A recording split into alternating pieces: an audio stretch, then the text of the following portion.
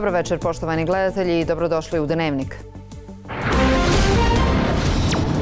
Bosna i Hercegovina prema indeksu demokratije je najgore plasirana zemlja u regionu, ocijenjena kao hibridni režim. Po funkcioniranju vlasti malo smo bolji od Sjeverne Koreje.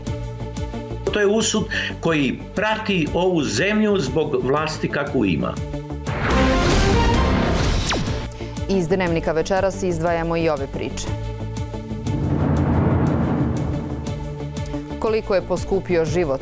Tihi rast cijena osnovnih životnih namirnica ekonomisti objašnjavaju dodatnim bogaćenjem najbogatijih, dok većina građana ne može priuštiti najosnovnije. Potrošačka korpa ponovo će iznositi nešto više od 2000 konvertibilnih maraka. Nije ono skupo da su veće penzije i ljepše plate. Još 240 zaraženih koronavirusom u Bosni i Hercegovini, devet osoba preminulo prije tačno mjesec, objavljeno da ćemo vakcine dobiti najkasnije 10. februara. Dok još niti jedna osoba u našoj zemlji nije vakcinisana, Srbija već vakcinisala preko pola miliona osoba. Oko 150 osoba nestalo nakon obrušavanja glečera sa Himalaja u sjevernoj Indiji. Pet godina od nesreće na Bjelašnici, prvi susret Anise i spasioca Carmina.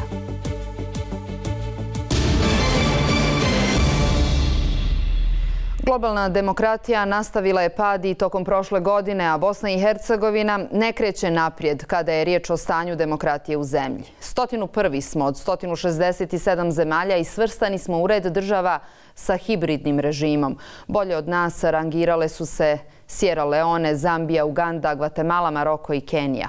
Ovakvi rezultati nisu iznenađujući, a rezultat su stvarnog učinka vlasti, smatraju analitičari. Indeks demokratije mjeri se kroz pet ključnih pokazatelja. Izborni proces i pluralizam, funkcionisanje vlasti, učešće u političkom životu, politička kultura i nivo građanskih sloboda. Mnoge zemlje sa autokratskim režimima, poput Jordana, Kambođe, Etiopije, bolje su rangirane od Bosne i Hercegovine po funkcionisanju vlasti. Bosna i Hercegovina je sa druge strane tek nešto bolja od Sjeverne Koreje. Ovakav rezultat nije iznenađujući, smatra profesor Slavo Kukić. U ostalom, nisu to samo ti indeksi po, po stopi nezaposlenosti koje se svake godine prati također međunarodne, istraž, međunarodne istraživanjama. Bosna i Hercegovina je na samom evropskom vrhu, ali po razini, po, po, po, po prosječnim plaćama je na samom evropskom dnu. Po razini kriminala i korupcije ona je kontinuirano na, u, u svjetskom i evropskom vrhu. To je nešto naprosto, to je usud koji prati ovu zemlju zbog vlasti kakvu ima. Ti podaci odražavaju duh oni koji danas dominiraju u politici i koji vode ovu državu, a oni se tu nalaze prije svega iz vrlo niskih pobuda, iz, da kažem, političkog profiterstva, materijalnog koristoljublja ili e, osobne egomanijakalnosti. Jednostavno, za mene to nije nikako iznenađenje. Prema analizi koju je objavio britanski The Economist, demokratske slobode u svijetu u prošloj godini nazadovale su gotovo 70% zemalja, najviše zbog restrikcija uvedenih zbog pandemije koronavirusa. Pandemija koronavirusa u 2020. godini postavila je pitanje da li bi javnost privremeno trebalo da pristane na smanjenje sloboda da se spasu životi. Većina ljudi na ovo odgovara potvrdno. Problem je što ljude niko nije stvarno pitao. Kvalitet demokratije se može izmjeriti i pitanjem javnosti za mišljenje prije odlučivanja.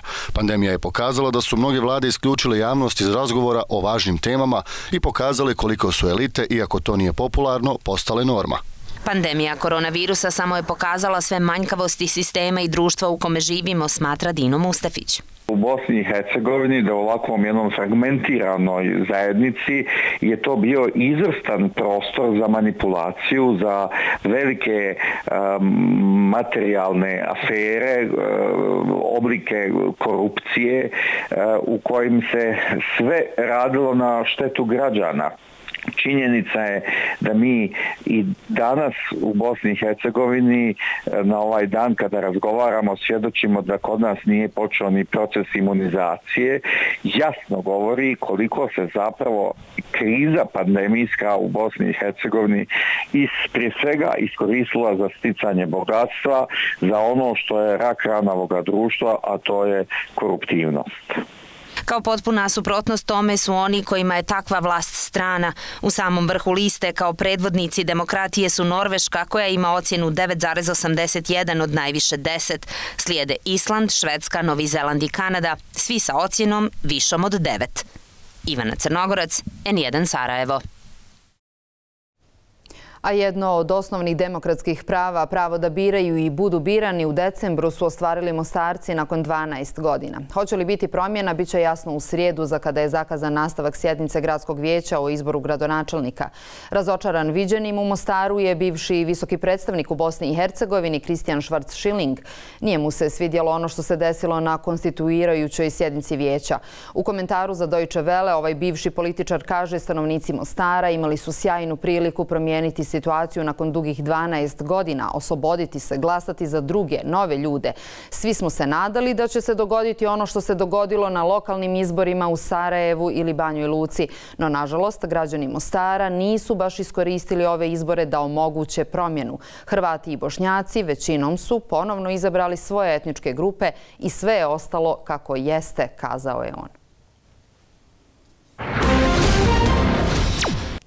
Eskalacija pandemije virusa korona u prvoj polovini prošle godine negativno se odrazila na privredna kretanja. Bruto domaći proizvod pao je za 9,3% u drugom kvartalu prošle godine u odnosu na isti period prethodne godine, dok je pad na nivou prvog polugodišta iznosio 3,7%. Zabilježen je pad potrošnje domaćinstava od 4% u realnom smislu, a zbog oslabljenog raspoloživog dohodka građana i manje sklonosti za potrošnjom. Ove informacije sljedeće sedmice naći će se pred zajedničkom komisijom za ekonomske reforme i razvoj parlamenta Bosne i Hercegovine.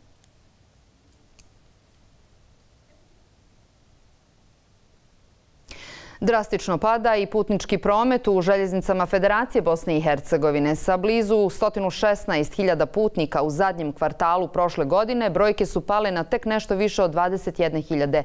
Nešto je bolja situacija kada je prijevoz tereta u pitanju. U odnosu na isti period prošle godine, željeznice bilježe pad od 10 u ovom segmentu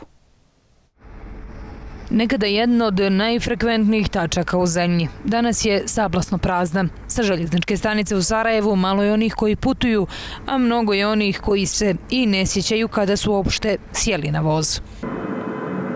Vozom? Da. Prije 25 godina. Jeste li često nekad putovali? Nisam često putovao. Ovako do mora prirat. Vozom sam putovao možda 97. Nisam sigurno 15-20 godina. Ne, ljudi žele da se voze vozom, ali ali sad zasi, mnogo je automobila i autobusa, svoja, tako da, ali svakom postoji želja da se vozi vozom. U periodu oktobar-decembar 2020. godine prevezeno je ukupno 21.478 putnika i ostvareno više od 1.700.000 putničkih kilometara, što je u odnosu na isti period 2019. godine manje za 81,5 odsto prevezenih putnika, a ostvareni putnički kilometri manji su za 80,5 odsto. U istom periodu prošle godine umjesto sadašnjih 20.000 željeznicama federacije prevezlo se skoro 116.000 putnika. Koliko je pad drastičan vidi se i na stanicama sa kojih se niko ne ukrcava za inostranstvo, pa čak ni na međuentitetske linije. Pusto je na glavnoj željezničkoj stanici u Sarajevu, ali i na svim drugim duš pruge. Na ovoj, na Alipašinom mostu, čak je i čekaonica zaključana. Sa svih stanica u Federaciji Bosne i Hercegovine dnevno pođe ukupno 14 vozova. U redu vožnje pominju se samo pet gradova. Sarajevo, Čapljina, Konjic, Maglaj i Zenica. Paradoksalno linija koja je privlačila najveći broj putnika Sarajevo Bihać izazvala je i najveće negodovanje. Bišćani su tražili njenu obustavu jer su se njome masovno prevozili migranti iz glavnog grada Bosne i Hercegovine. Aleksandra Toljuružić, N1, Sarajevo. S druge strane, cijene osnovnih životnih namirnica u Bosni i Hercegovini rastu tiho i prikriveno, pokazuju analize. Ekonomisti objašnjavaju razlog poskupljenja, odnosno osiromašenja građana, jeste dodatno bogaćenje najbogatijih. Na pijaci u Sarajevu uredno složeno voće i povrće, a i ostali proizvodi. Prodavci imaju vremena na pretek da o estetici tezgi povedu računa. Na pitanje imali računa od prodaje složenog, odgovaraju. Loše, loše. Situacija dramatična. Kod mene su cijene visoke. Nije ono skupo da su veće penzije i ljepše plate. Ništa ovo nije skupo. Jedna sam kupa i dobiđenja.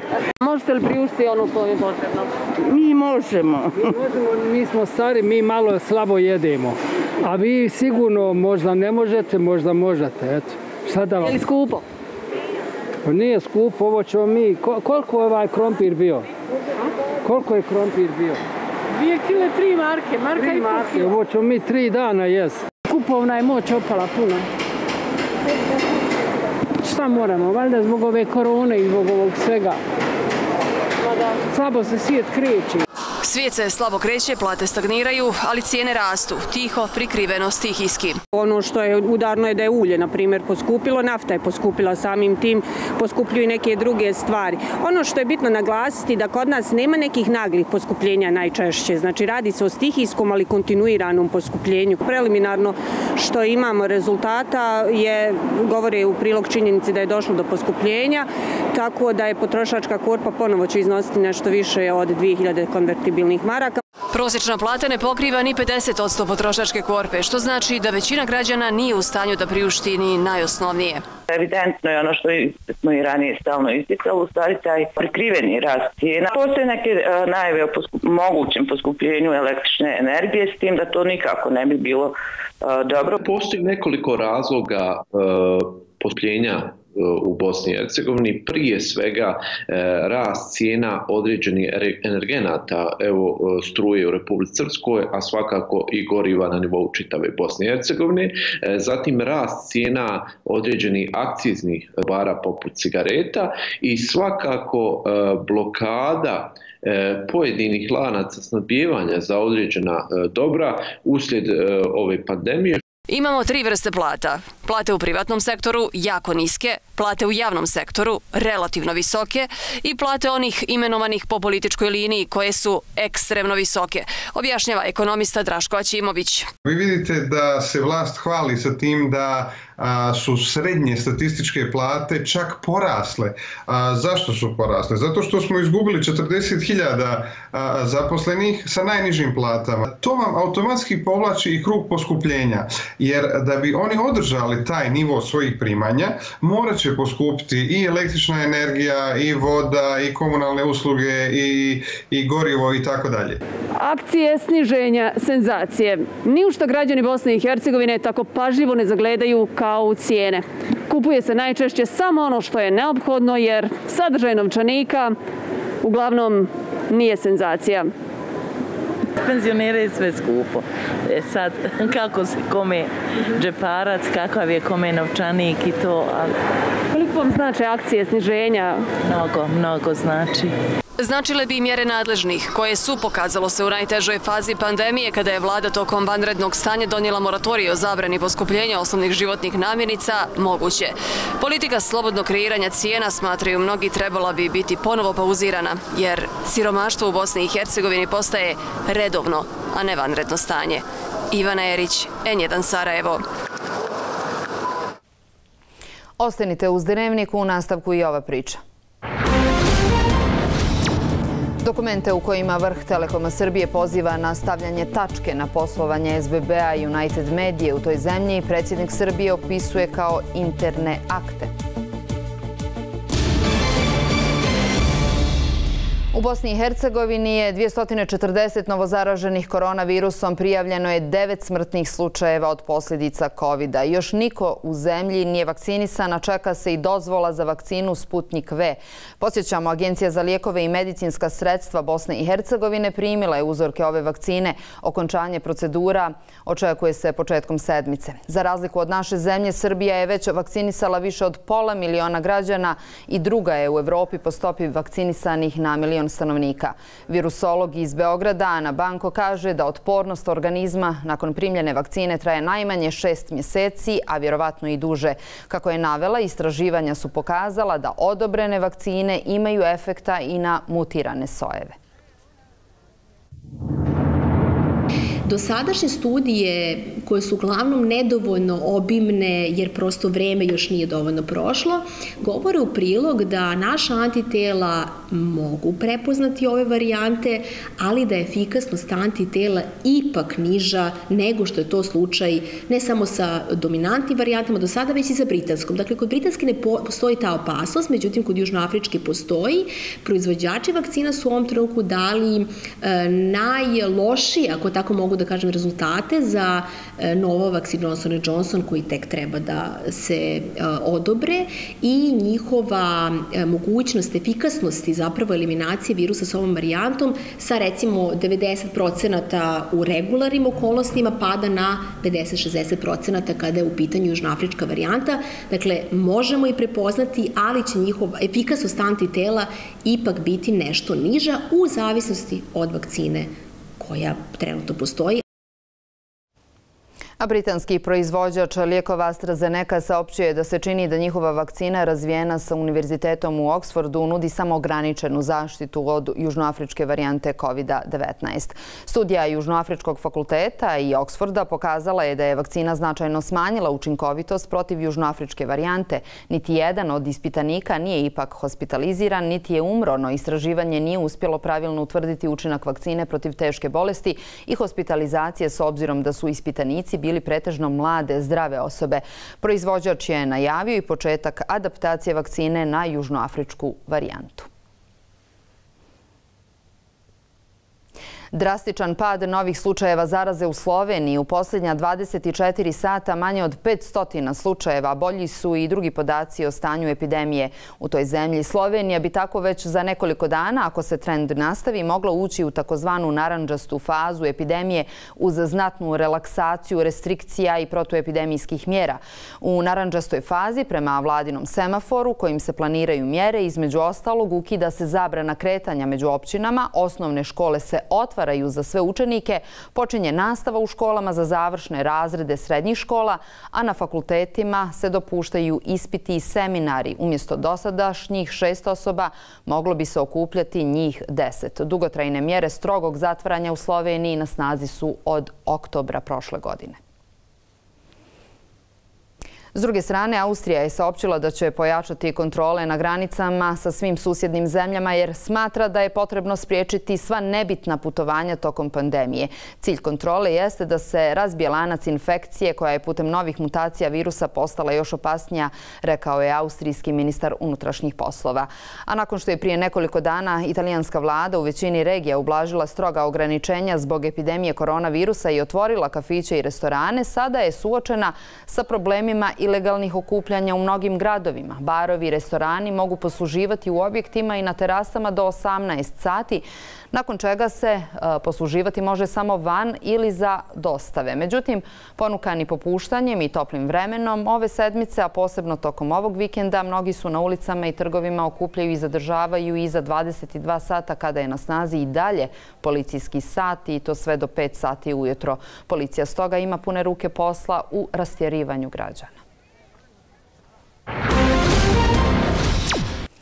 Predsjednik Sjedinjenih američkih država Joseph Biden uputio je pismo čestitku predsjedniku Srbije Aleksandru Vučiću povodom 15. februara Dana državnosti Srbije. Imajući u vidu 140 godina partnerstva između naših zemalja, Sjedinjene države ostaju trajno posvećene unaprijeđenju ekonomske saradnje, regionalne stabilnosti i demokratskih vrijednosti, naveo je između ostalog Biden. Ostajemo nepokolebljivi u podršci cilju Srbije u pogledu evropskih integracija i pružamo vam posticaj da i dalje poduzimate teške korake ka postizanju tog cilja, uključujući uvođenje neophodnih reformi i postizanje sveobuhvatnog sporazuma o normalizaciji sa Kosovom, koji je fokusiran na međusobno priznanje, stoji u Bajdenovom pismu. Predsjednik Srbije Aleksandar Vučić zahvalio se na pismu američkom predsjedniku i dodaje da je već jednom u Vašingtonu rekao što misli o priznanju Kosova, te da njegov odgovor neće biti drugačiji. Mi razumemo da je to nova američka politika. Bilo je pokušaja da se ta sintagma i taj termin nametne kao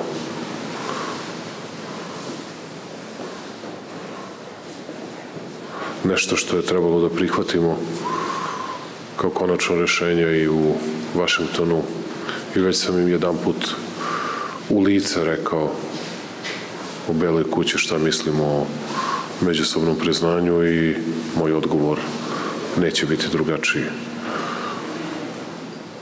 Šta bih ja mogao da uputim kao čestitku i koja je sadržene za 4. juli, dan nezavisnosti Sjedinjenih američkih država. Mnogi mi ideje padaju na pamet, ali ja računam da je moj posao da štitim i čuvam interese Republike Srbije. Predsjednik Srbije Aleksandar Vučić pokazao je da zna da postoji ugovor između Telekoma i Telenora i nije negirao da se u njegovom obrazloženju navodi da je cilj staviti tačku na poslovanje SBB-a i United Medije. Kako otkriva Vučić, riječ je o internom aktu Telekoma Srbije, dok direktor te kompanije to naziva zdravom konkurencijom. Ugovor Telekoma i Telenora koji za cilj ima, kako pokazuju dokumenti, uništenje SBB-a i United Medije još nije odobren od Komisije za zaštitu konkurencije. Predsjednik Srbije pre neki dan rekao je da je u pitanju samo jezik, ali da ne treba zameriti Telekomu što želi da opstane na tržištu. Danas, međutim, ima više detalja. U obrazloženju piše da se taj ugovor e, sklapa kako se tamo navodi, da bi se stavila tačka na poslovanje SBB-a i United Medije u Srbiji, rekli se da je u pitanju jezik.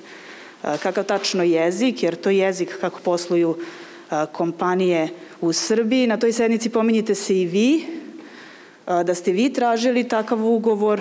Ja lično ne verujem da ste tražili da se stavi tačka na poslovanje neke kompanije tipa SBB-a. Koji je to ugovor, izvinite? Molim? Koji je to ugovor? Kakav ugovor između Telekoma i Telenora. To ste izmislili. Jel imate takvu informaciju? To ste izmislili. Ja lično ne verujem da ste vi to tražili. Pa ne da ne verujete, nego ne sam imao pojma, ali to ste izmislili. To ne piše nigde. I dok predsjednik zna kako tvrdi šta gde piše i tvrdi da ga ne zanima šta rade Telekom i Telenor, ipak zna kakva dokumenta usvaja Telekom. Ja nemam pojma ni šta rade Telekom i Telenor. Niti me zanima. I drugo, niste rekli građanima Srbije da se radi o internom aktu ne o spoljnem opšte obavezujućem aktu, već u internom aktu, unutrašnjem aktu preduzeća Telekom Srbija, gde oni govore kako i na koji način da pobede svoju konkurenciju i ništa više. To što je interni dobija još više na značaju s obzirom na ono što je rečeno u tom internom dokumentu. Ali je zanimljivo da ljudi koji su pisali taj dokument ili su totalni biznis amateri koji bi morali da znaju da se u, ni u internom dokumentu ta na, takva namera ne sme, ne sme staviti, ne sme napisati, ili su previše bahati da mogu sebi da dozvole takav luksuz, ne računajući da ako neko i provali taj interni dokument, da to njima neće biti mnogo važno i da im nije, nije bitno, jer njihova moć je toliko velika da, da to ne treba ni da kriju. Dokument je potpisao aktuelni direktor Telekoma Vladimir Lučić, koji već nedelju dana izbegava da daje izjavu za N1, ali je danas za Pink objasnio da se sve radi sa ciljem zdrave konkurencije. Zdrava konkurencija je normalna. Zdrava konkurencija svakog od nas treba da bude dobar prema korisniku. Ko je dobar prema korisniku ne treba da se brine e, konkurencije. Predsjednik Srbije međutim ne pominje zdravu konkurenciju, već napada N1 televiziju da želi njegovo uništenje. Nisam verovao da je moguće da želite uništenje nečijeg predsjednika, da želite uništenje njegove porodice, iako su me svi ljudi uveravali da baš to želite. Jel možemo se vratimo na ugovor Telekomu i Telenoru, zato što pričate da, da neko želi uništenje vaše, a to nikad, to uopšte nije tačno. Sve u redu da me puste završim. Pa možete da odgovorite na pitanje, to Niklas to nije pitao. Ja im nikada nisam verovao, ali na kraju se pokazalo kao istinito. Šta se pokazalo kao istinito? Pa to da ste recimo šest meseci vodili kampanju protiv moje porodice i protiv mene lično vezano za slučaj Jovanjica. Jel možete sada odgovoriti na pitanje o Telekomu i Telenu?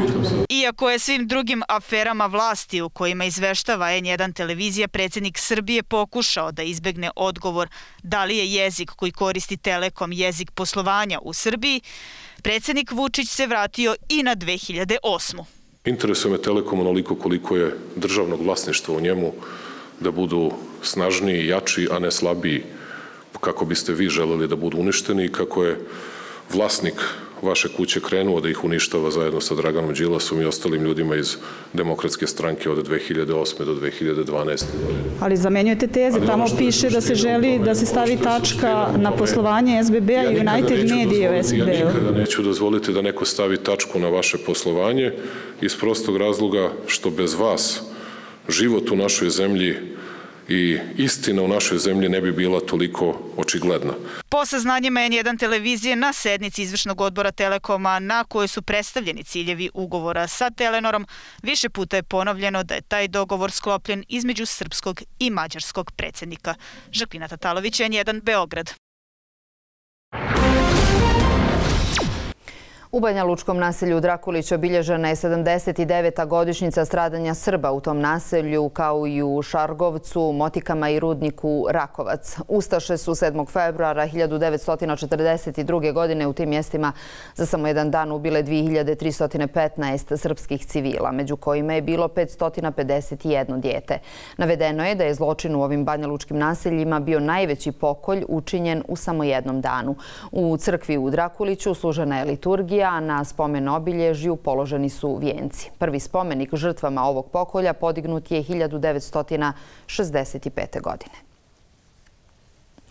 U Sarajevskom naselju Stup prije devet godina pod točkovima kamiona život je izgubio desetogodišnji Hamza. Stradao je na dijelu ceste bez ispravnog semafora i na kojem je u to vrijeme sigurnost učesnika u saobraćaju ugrožavala nelegalna pijaca.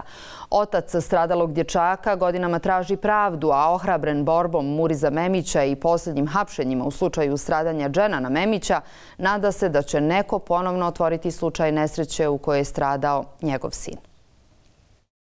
Na ovom mjestu 6. juna 2012. godine stradao je Hamza Marevac, kojeg su pravosudni policijski organi ove zemlje proglasili 100% krivim za svoju smrt. Presude prvoga i druga dva suda temeljeni su na policijskom izvještaju za kojeg otac Sead tvrdi da ima brojne manjkavosti. Ja sam na čitavom ovom terenu našao Hamzinu loku krvi koja je bila pri kraju pješačkog prelaza. Znači ovdje možda neki metar 80 cm je jedino bila lokva krvi od mog Hamzi. Tu lokvu krvi niko ne spominje. Ševal Kovačević, vještak, koji je vještačio ovaj predmet, on kaže da je tamo Hamza zgažen i da je došlo do valjanja tijela, pa vjerovatno ga do ovdje odnijelo. Međutim, Rusak je nov, nijedna sveska nije poderana niti zgužvana. Ako je, ako je onolika sila, taj trosovinac koji je ugušio moje dijete, morala je biti neka sveska načeta ili nešto. Sve su ovo nove stvari. I bile su na leđima dok je moj Hamza izdao. Nekoliko dana nakon Hamzinog stradavanja Sed je u Ministarstvu unutrašnjih poslova upoznao Hasana Dupovca, šefa odjela za saobraćaj koji mu tada uručuje ruksak i jednu patiku, nakon čega Socem u stanju šoka priča o starijem posinku i njegovom ponašanju. On uporno, mi po sata pričamo kako je Dženo pravio njemu probleme ovde prilikom uviđaja. Međutim, ja znam, dvojicu policajaca iz podrške, prvi koji su iz kombija izašli ovde, kaže gospodine Mane, ja ih pitu, kaže mi ćemo svjedočiti, mi ćemo sve da je tvoje djete normalno od brata izgubio i to sve. Kaže, sasvim korektan bio.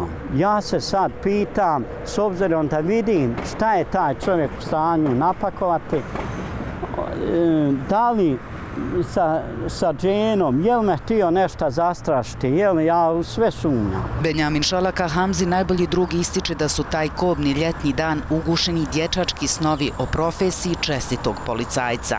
Ali uvijek je priča o tome kako bi žele da postane, na primjer, neki policajac, da ima, da ima neku vlast, da kako bi nešto možda i promijenio u ovoj državi. Primjeran učenik, primjeran sigurno i građan kao njegov roditelj.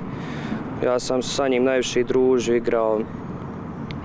Nije mi lako da pričam, to se desilo 2012. godine, devet godina posle toga nije mi lako i ne mogu ni ja sam da se pomirim s tim, da su njega optužili za to i Osim što je kriv za svoju smrt, njegova porodica sad je dužna platiti sudske troškove po izgubljenom parničnom postupku protiv osiguravajuće kuće. Nadamo se da će jednog dana mnoge stvari oko Hamze se razjavili.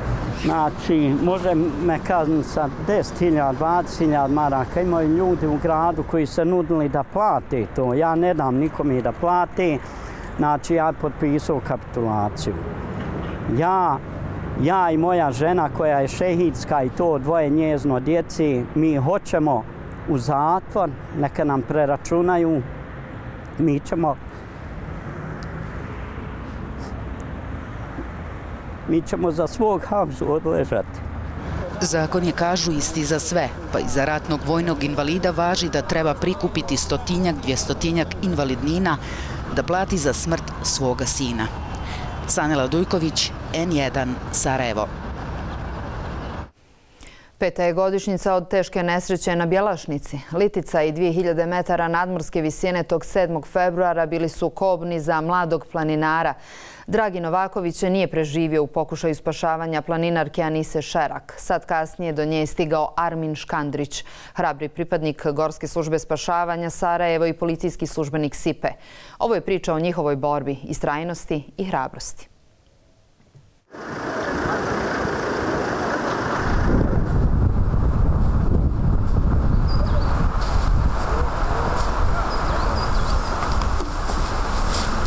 I nakon pet godina od svega me hvata jeza. Jeza ne obuzima samo njenog hrabrog spasioca. Oči u oči, pet godina nakon, prvi put su zajedno na Bjelašnici. Na vjetrovitoj stazi sa koje je Anisa krenula u pohod kobnog 7. februara. Osjećam jezu možda malo u trbuhu i nekako cijela priča nije baš tako jednostavna. No evo, ja sam preživjela a, tog sedmog drugog i to je ono što želim danas slaviti i nekako svima poručiti da planina iako zna biti prestrašna, iako zna biti užasna, moramo je poštivati, moramo poštivati običaje koje zateknemo u prirodi, pogotovo u planini zimi. Alarmirana je Gorska služba spašavanja, stanica Sarajevo. Čekajući ratrak u razgovoru sa kolegama, Armin odlučuje da se ka kotlovima uputi odmah. Hrabrost, spremnost, adrenalin i brzina doveli su ga do najsurovijeg mjesta na Bjelašnici, do krvavog traga, do Anise. Dolaskom do Anise vidio sam da je u jako teškom stanju, bila je potlađena, njena usta, nos uši su bili utrpani snijegom. Pristupio sam pružanju prve pomoći. Prvo sam ustranio sav snijeg iz njenih usta da bih oslobodio dišni puteve da može da diši. Uzeo sam astrofoliju. Pokušao sam da je utoplim. Sve ostalo što sam mogao uraditi, čekam da dođu drugi spasioci koji su bili na putu prema Kotlovnu. Dok sam čekao spasioce, Anisa je tri do četiri puta sigurno gubila svijest. Nakon što su došli spasioci, mi smo krenuli sa, odnosno doktor je krenuo sa trijažom i odmah posle toga je krenuo transport Ono što je bio najveći problem u tom trenutku, u trenutku spašavanja, je što sam ja bila u e, hipotermiji. Dakle, u tom trenutku sam imala nekih 28-29 stepeni, što je skoro pa inkompatibilno sa životom. No, e, Arminovom herojskom borbom i borbom svih e, drugih kolega, njegovih kolega u e, e, stanici Sarajevo, Gorske službe spašavanja, e, sjajnim naporima su me zaista e, spasili u posljednji čas. I preba, kad sam prebačena na Koševo, tada je praktički krenuo um, drugi dio uh, moje borbe za život. Uh, bila sam nekoliko dana u komi, morali su mi ponovno vratiti temperaturu na normalnu ljudsku tjelesnu temperaturu od 36 stepeni, da bi me profesor Gavran Kapetanović uopće mogao operirati. Povrede su bile ekstremno teške, i nadkoljenice, karlice, rebara, ramena, tako koliko, koliko sada mogu da se sjetim svega, mislim i koljeno je bilo. Ono što je, ono što, što posebno pamtim, to su ti zglobne destrukcije koje su bile značajne i koje mi nisu ulijevale nadu da će ona moći ponovno da e, kvalitetno hoda, a pogotovo ne da, da može bilo kakvom aktivnošću značajnijom da se bavi. Bio sam dosta zabrinut za taj ishod, međutim iz dana u dan njeno, njen, njen organizam, njeno tijelo i psiha pacijentice je značajno utjecala da smo mi, evo, hvala Bogu, dobili jedan mm, mm izvanredan rezultat, evo mogu slobodno reći i za mene neočekivan rezultat, jedno malo čudo. Armin upozorava da je rad spasilaca isključivo volonterski. Prvi su na mjestima nesreće. Godinama čekaju status profesionalaca u Bosni i Hercegovini. Ali šta čeka država? Osim podrške kantonalne i pojedinih opštinskih civilnih zaštita, nemaju status poput njihovih kolega u regiji. Mi, gorski spasilaci, provodimo obuke e, u stanici zajedno sa našim e, instruktorima. Također mnogo nam pomaže hitna pomoć kantona Sarajevo gdje provodimo obuke prve pomoći. S obzirom da sam e, policijski službenik državne agencije za istrage i zaštu, e,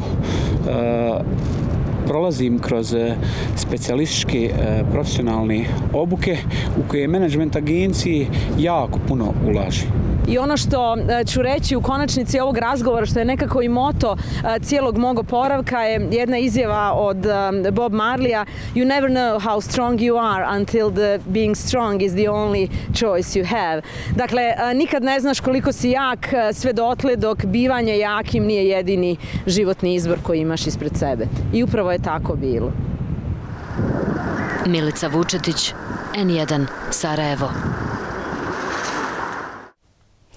Dio glečera sa Himalaja odlomio se i udario u branu izazavši poplave. Strahuje se da je stradalo najmanje 150 osoba. Do sada su pronađena tri tijela. Lokalno stanovništvo se evakuira, prenosi Reuters, a očevidac je ispričao da je zid od kamenja, prašene i vode udario u branu i da nije bilo vremena da se bilo ko upozori. Videozapisi objavljeni na društvenim mrežama pokazuju kako voda prolazi kroz branu i odnosi njene dijelove. Vodostaj rijeke je sada jedan metar iznad uobičajnog uobičajenog nivoa, ali protok se smanjuje, saopćuje na Twitteru glavni ministar Utarakanda. Premijer Indije, Narendra Modi, rekao je da se situacija pažljivo prati. Deseci hiljada ljudi okupili su se ponovno u najvećem gradu e, Mijenmara i na protestu protiv puča i hapšenja liderke Aung San Suu Kyi i drugog dana protesta demonstranti nose crvenu boju koja simbolizira stranku Suči, Nacionalnu ligu za demokratiju, koja je pobjedila na izborima prije nekoliko mjeseci, a što vojska koja je izvela puč negira. Demonstranti poručuju da će se nastaviti okupljati dok god ne ostvare cilj. Vojska je jučer nakon prvobitne blokade društvenih mreža prekinula sve internetske mreže i ograničila telefonske linije. Imamo pravo u skladu s demokracijom pokazati svoje neslaganje da smo protiv diktatura kako bismo spriječili nejednakosti i ugnjetavanja. Moramo se riješiti strahova. Sudjelujemo u ovoj revoluciji jer vjerujem da će vojna diktatura propasti ako hrabro udružimo snage. Papa Franjo je prvi put imenovao ženu na visoki položaj pod tajnika biskupske sinode, postavljajući francuskinju Natalie Becarte na tu dužnost. Vatikan je poručio da je ovo imenovanje simbol osnaživanja žena unutar crkve. Imenovanje predstavlja papinu želju za većim učešćem žena u procesu donošenja odluka u crkvi. Franjo je ranije signalizirao da želi reformirati sinodu i dati veću ulogu ženama i lajicima unutar same crkve. Sutra u Bosni i Hercegovini provladavaće pretežno oblačno vrijeme s kišom, intenzivnije padavine na sjeveru i istoku Hercegovine, kao i na zapadu Bosne, na vrhovima planina sa snijegom. Pogledajte i prognozirane temperature.